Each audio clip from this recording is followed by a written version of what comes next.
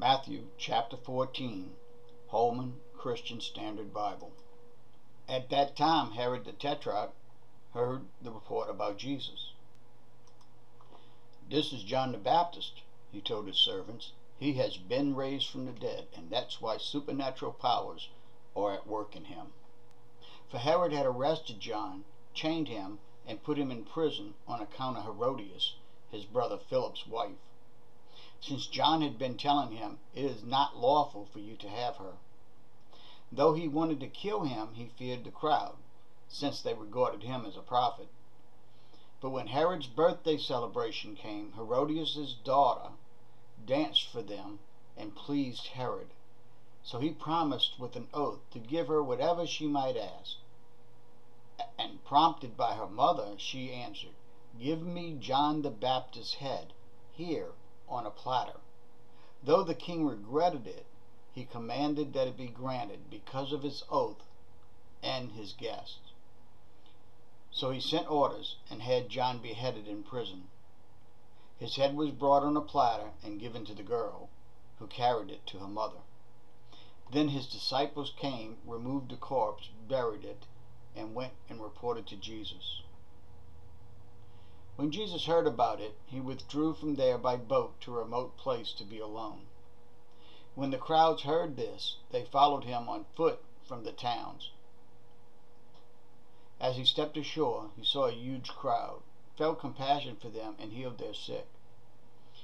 When evening came, the disciples approached him and said, This place is a wilderness, and it is already late. Send the crowds away so they can go into the villages and buy food for themselves. They don't need to go away, Jesus told them. Give them something to eat. But we only have five loaves and two fish here, they said to him. Bring them to me, he said. He commanded the crowds to sit down on the grass. He took the five loaves and the two fish, and looking up to heaven, he blessed them. He broke the loaves and gave them to the disciples. And the disciples gave them to the crowds.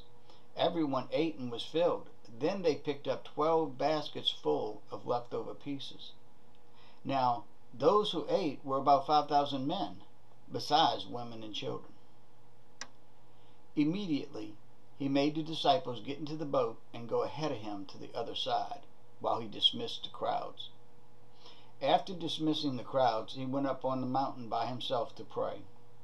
When evening came, he was there alone. But the boat was already a mile from land, battered by the waves because the wind was against them. Around three in the morning, he came towards them, walking on the sea. When the disciples saw him walking on the sea, they were terrified. It's a ghost, they said, and cried out in fear. Immediately Jesus spoke to them.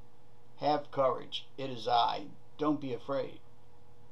Lord, if it is you, Peter answered him, command me to come to you on the water.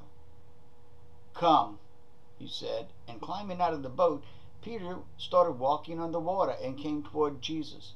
But when he saw the strength of the wind, he was afraid and began to sink and cried out, Lord, save me. Immediately Jesus reached out his hand, caught a hold of him, and said to him, You of little faith, why did you doubt? When they got into the boat, the wind ceased.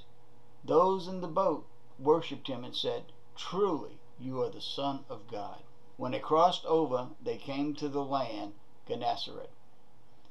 When the men of that place recognized him, they alerted the whole vicinity and brought to him all who were sick.